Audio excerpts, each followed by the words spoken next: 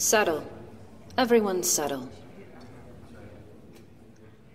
We gather here to right what has been purported to be a great wrong between an Araphagus and a succubus. Veda, it has been a long time since you reported for an audience with the Council. I apologize. No need. That is not why you are here. Though I sense your apprehension, and I assure you, we will be fair and just. Your lack of integration into our culture and systems will not be held against you. Do you wish for an accounting? Or will you submit yourself freely?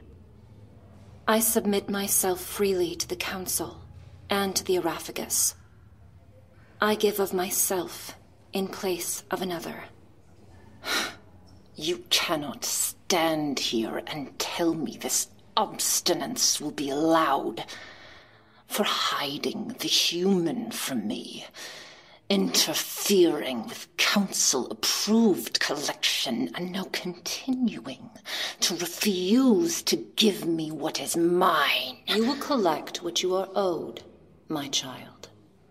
Veda has submitted willingly and with grace. Oh, Otokte, you may begin.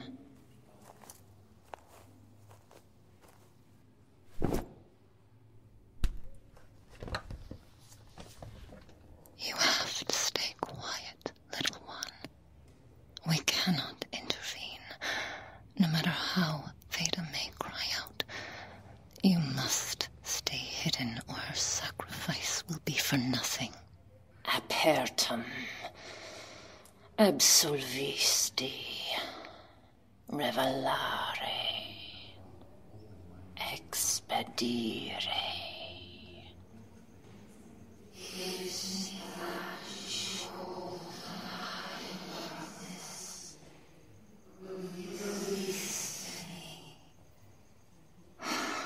You're shielding yourself. Even now, before council, you distort and subvert our customs. I. I'm not. I am giving to you what you ask.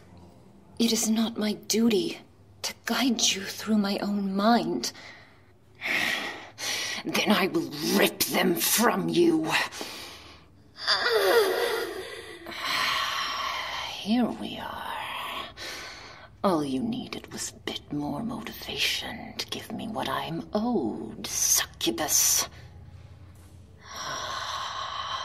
And what have we here?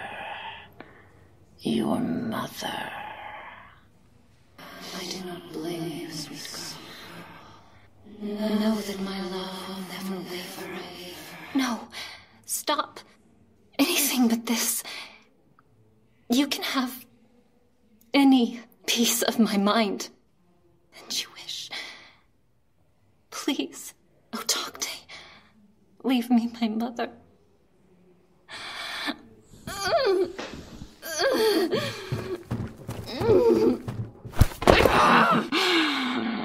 How dare you keep from me what is mine? You dare to hide them here, in our own realm. You offer me yourself in place of this. this sack of meat.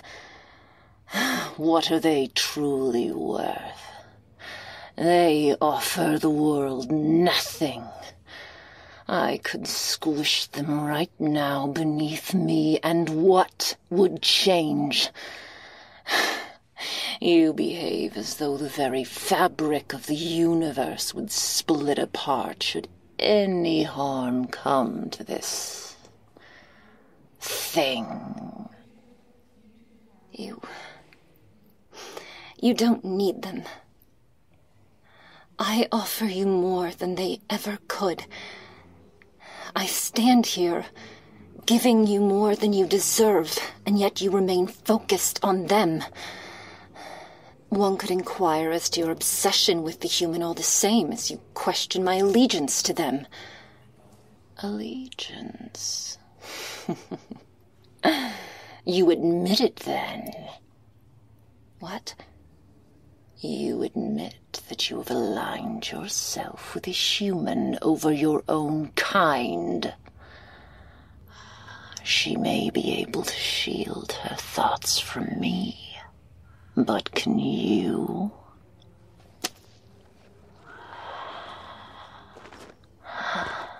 Very good, human. Struggle. Give me your fear. Open yourself to me. No, little light. You mustn't allow your emotions to the surface. Protect your memories. Fight it.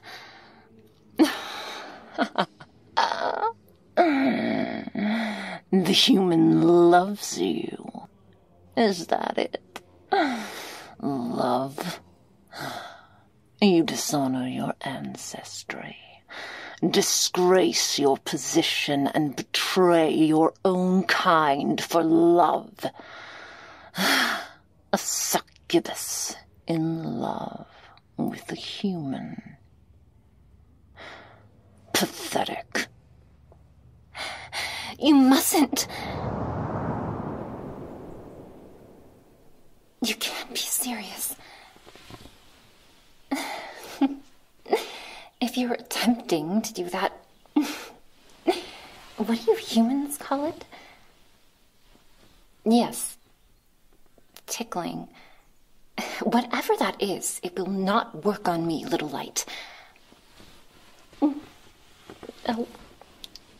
Oh, but in contrast, it seems to work very well on you.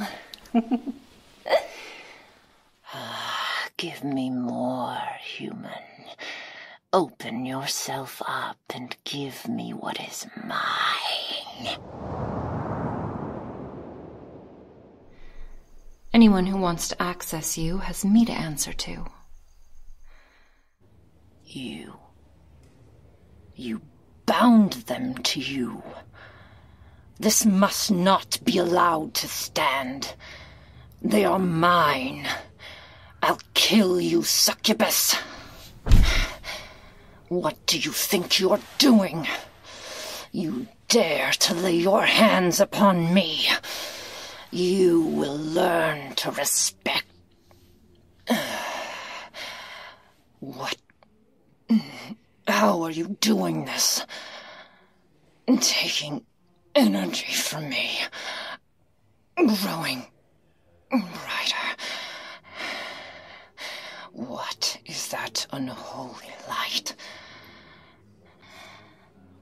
But how? Don't just stand there. Get this thing off of me. Underlings, listen and obey your master. Uh, why do you disobey me? Is this not what you wanted? You hunted them for years, and now that you have them in your hands, are you quivering? You've forgotten fear yourself, haven't you, Otokte? You clothed and called yourself fear in flesh, but lost sight of your own fears hidden within your core. You would do well to remember your place, succubus.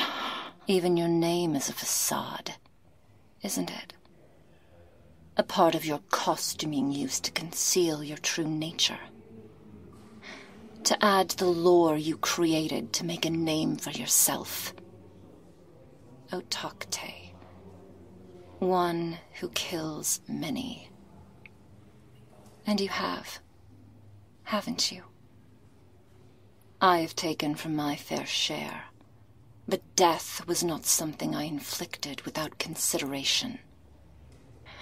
Because you're weak, Veda. You're weak and insignificant. Perhaps your love for this human is fitting then. Your weakness opened you to corruption. You wish to speak of corruption. What of the souls you consume and do not give a portion to the head or to council? What of your sins, O Otokte? Enough, my children. That is enough. Veda, take your human and join your sister. Otokte, is there any truth to the accusations laid before you? Have you taken in my name without permission? Rhea. Do not dare utter my name in light of what you've done. I gave you my trust, Otokte. I gave you my trust with the understanding that you could govern yourself accordingly. Veda, allow them to come to me. It's all right, human. Come here. Stand here in front of me. Very good. I want you to take my hands and to allow me to access your mind. I will not feed on you, but I need to see for myself. If Otokte has been tracking you, I will see their shadow over your memories. I want you to understand what happened, baby. I want you to trust me enough to be honest. I should have protected you. Quod sit cruor per annexis.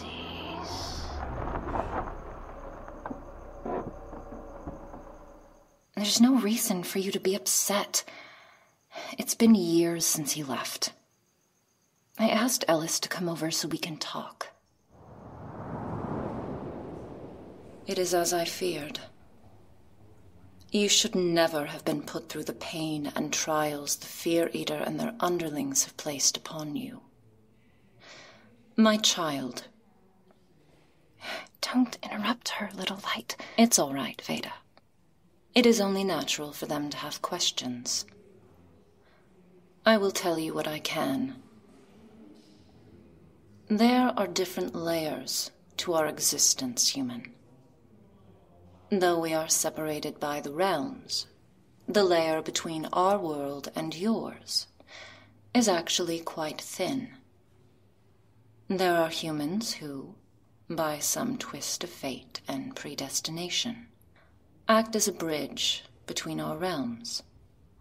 You, my child, are a bridge, known in our world as the Roshani. There used to be many more of you living on Earth, but there were some in our realm who feared the Roshani. Those who resented their ability to connect to both realms without having to pay the toll or earn the right to travel between the two sides. You can, in fact, travel between the realms. Had things not devolved as they did a century or so ago, You'd have been trained to do so following the start of your 18th year in life. This may explain, in part, why Arveda felt so called to answer your cries when you were a child. I will not stand here and pretend to have the answers to everything, but I will assure you that you have nothing left to fear from any of us. Otokte will not be allowed to harm you or anyone else, for that matter. I wonder if I might. if we might be released from the tribunal. I don't mean to overstep, but I believe they have seen more than enough of the inner workings. At least for now.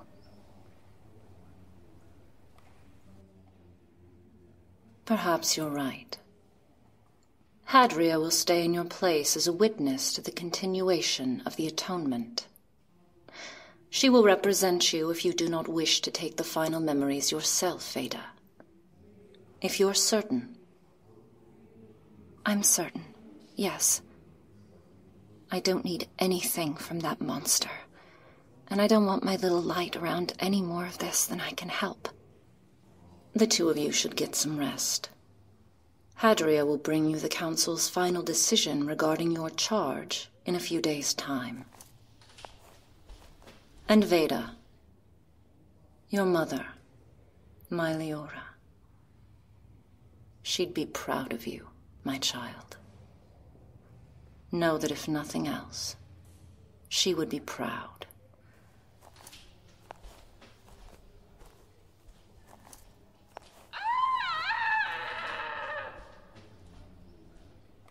You look as though you've seen a ghost, little light. I'm sorry for whatever memories you were forced to relive.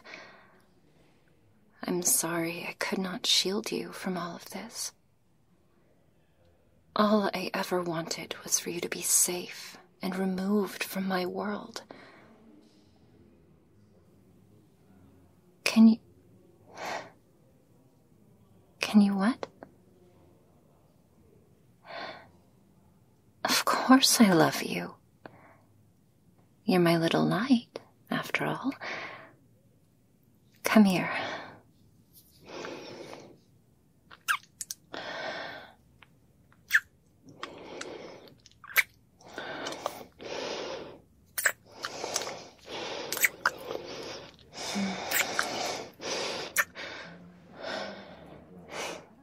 Hold on to me.